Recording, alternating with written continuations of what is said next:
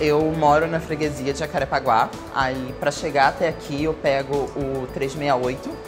E aí, atravesso a serra, chego até a Candelária, solto no ponto final. E de lá eu vou andando até as barcas para chegar aqui na Araribóia. E aí, eu venho andando aqui até o ambulatório.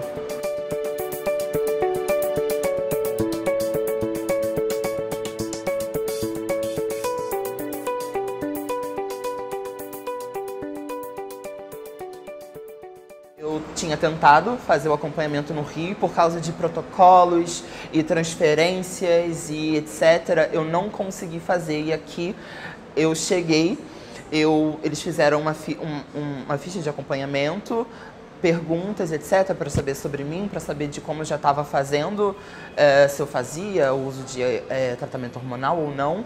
E assim eu já estava começando a ser assistida e eu já estava podendo usufruir dos benefícios do espaço de uma maneira muito mais simples e dinâmica. Vou marcar a primeira consulta já já, mas já, já, já acho um lugar muito acolhedor. Eu vim buscar tratamento hormonal para me mudar minha aparência física, é, ter mais oportunidades no mercado de trabalho. E aqui eu tenho todo esse acesso à saúde. Eu vim buscar assistência também, ajuda, conhecimento técnico, médico, para poder fazer a minha transição de uma maneira mais segura. O ambulatório ele é produto do movimento social. Né? Ele tem toda essa mobilidade, todo esse movimento, todo esse processo que, que se dá a partir de uma linha de ação do movimento social. Né? Movimento social, organização da sociedade civil e, so, e sociedade civil. E isso começa no grupo de trabalho, mas o que antecede o grupo de trabalho é o grito da comunidade, que é o movimento social, que majoritariamente é a pele desse processo, né? E daí é um movimento social composto por pessoas que se identificam e são comunidade trans, né? E daí nós começamos esse grupo de estudo, que é um GT, começamos e, e foi, foi muito fomentado a partir de 2018, né, com a, as organizações e instâncias da Universidade Federal Fluminense, a UF, com alguns professores, alguns pesquisadores, né, e ele foi aumentando. O ano de 2019 foi um ano muito, muito comemorado, né, foi um ano de muita mobilidade, produzimos muito, muitas capacitações, muitos encontros, muitas mesas. Noah Wesley. Everton. Rafael. Lux. O meu atendimento aqui, primeiro, é o atendimento de acolhimento, né, que é da chegada das pessoas aqui. Tudo bem que elas passam pela recepção, né, elas fazem lá toda uma parte mais burocrática, né, de preenchimento de nome, endereço, telefone, documento. E quando elas chegam para mim, é, eu faço o acolhimento, assim, né? Como que você chegou aqui? É o que, que te traz aqui? Quais são as suas expectativas em relação ao acompanhamento, ao tratamento a ser feito aqui no ambulatório? É, eu, eu gosto muito de colher as histórias de vida dessas pessoas, porque são histórias assim com riquíssimas e cheias de detalhes que, que ajudam a compor um pouco, né, dessa historiografia e dessas pessoas.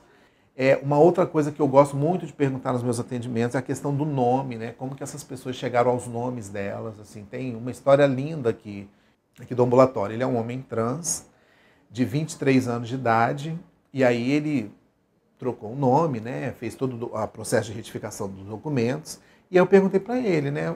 É, fala para mim como que você chegou ao seu nome hoje, de onde ele vem.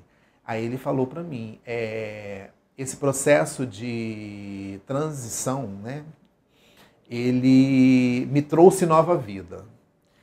E é como se eu estivesse nascendo novamente. Então eu achei importante que a minha mãe escolhesse o meu nome de renascimento. E aí o meu nome é fulano de tal hoje porque a minha mãe escolheu o meu nome. Então, assim, eu acho essa história fantástica. E tem, tem algo muito interessante que essa população chega muito pouco na atenção básica.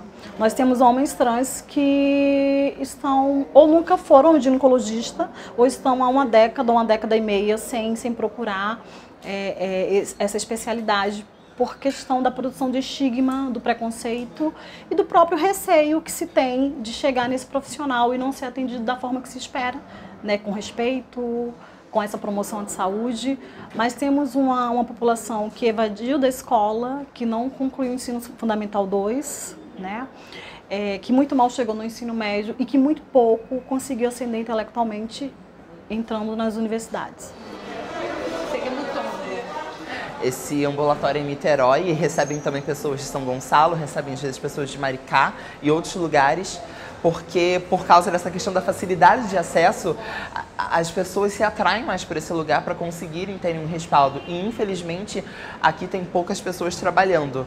Então acho que isso é uma questão a se pensar a nível aqui do município de Niterói, de se ter mais auxílio, mais olhar para esse lugar aqui que faz um trabalho tão maravilhoso, tão lindo, para que os funcionários consigam ter mais apoio, para que se tenha mais funcionários, para se ter ainda mais apoio, para tornar esse lugar ainda mais acessível. Masculino. Masculino. Masculino. Mulher travesti. Porque eu venho do Maranhão, é, lá a minha família biológica é um pouco tem um, um, um pensar um pouco diferente. Teve no tempo que eu fui morar, eu morava com a minha tia desde bem pequeno. Só que depois eu fui morar um tempo com meu pai. Só que quando eu fui me descobrindo essa pessoa que eu sou, é transexual, ele não aceitou. É, falou que isso não, não tinha como ser a pessoa que ele, que ele fez. Se não fosse para ser uma menina, eu não teria que morar mais com ele. Fui no Maranhão no final de 2018, então tive a possibilidade de conhecer o Wesley. Eu não o conhecia por ser parente de terceiro grau, e ainda ele tinha um desejo, ele ainda era uma menina, então a família se recusava completamente em reconhecê-lo como um menino. Ele tinha um desejo muito grande, porém ele era menor de idade. Então, com isso, a gente fez o convite de trazê-lo para cá, por aqui tem mais oportunidades, mais recursos também, mais estrutura de poder oferecer o que ele precisava. Aqui no ambulatório, é, eu posso falar é, em primeiro plano em questões ligadas ao processo depressivo. São pessoas que, mesmo com o empoderamento que elas têm, que eu falei anteriormente, elas passam por um processo depressivo, porque é, é, é, é bastante doloroso todo esse processo. Por mais que a pessoa queira, a pessoa ela, ela entra num, no estágio de depressão até que as coisas possam começar a acontecer. Não acontece da noite para o dia. Então, isso daí existe um caminhar aí um inter né, dentro dessa questão que faz com que essas pessoas caiam num processo depressivo. É, eu percebo também que algumas pessoas apresentam um quadro de ideação suicida, né, então isso assim está dentro dos aspectos da saúde mental. É, pouquíssimas pessoas aqui possuem quadros né, de comorbidade psiquiátrica, como por exemplo a questão da psicose, da esquizofrenia, mas é, existem alguns casos e são casos assim bastante pontuais que a gente precisa, inclusive, de, de dar um contorno melhor para isso no âmbito da psicologia dentro do ambulatório. É, alguns casos de automutilação também, que a gente vê né, como um processo de aplacar essa dor que é gerada por todo o processo de, de transexual, da transexualização. É, e isso tudo motivado por esses estigmas que as pessoas vivem, né, por essas dificuldades que as pessoas vivem no transitar os seus corpos aí pela sociedade que gera né, esse quadro depressivo, essa ideação suicida, essas questões mais voltadas mesmo para a questão da saúde mental. A maioria vem buscando fazer uma hormonização, né? Pessoas que já é, assumiram uma identidade transgênera, mas que ou fazem ou desejam começar a fazer hormonização. E aí que a assistência endocrinológica médica é muito importante. Né? Para fazer corretamente essa hormonização.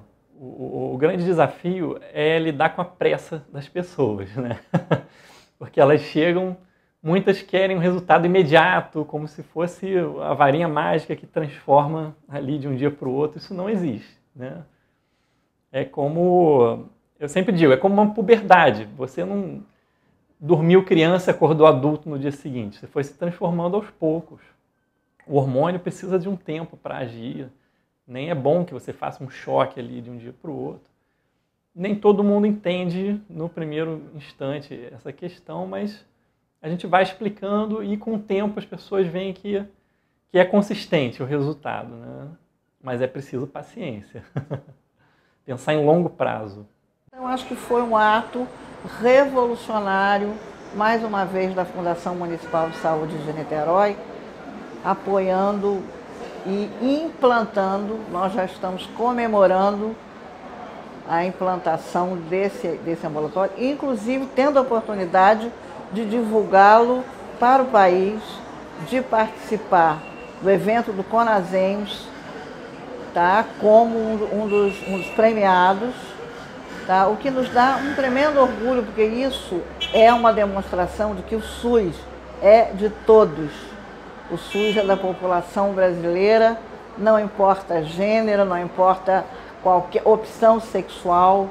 Enfim, eu acho que é um trabalho que mostra a importância do SUS como um sistema único de saúde, um sistema do povo brasileiro generoso, um projeto que atende a toda a nossa população. Nós criamos o vínculo, né, evitamos a receita de bolo para criar esse vínculo, para criar proximidade e para salvar vidas também, né, porque são corpos que chegam muito violentados. E aí a gente tenta avançar nesse atendimento, nessa, atenção emancipatória, não estou falando de uma atenção compensatória, estou falando de uma atenção emancipatória, porque o projeto do Sistema Único de Saúde deve funcionar de uma forma emancipatória, de uma forma que produza não só apenas saúde, mas cidadania. E aí a gente trabalha a partir do conceito ampliado de, de saúde, né, que é produzir inclusive cidadania. E aí a gente tenta reduzir esse impacto, essa, essa burocratização do atendimento e a gente faz valer, faz acontecer. Contempla a subjetividade, a especificidade do outro, porque do outro, essa vivência não é nossa. Eles que são a pele desse processo, eles que sofrem isso no fronte de cada dia. Então, é uma população que não tem praticamente nada, que é negada a sua existência. Então, a luta da gente é contra a tutela e a regulação dos corpos. Isso é um grande diferencial do, do ambulatório.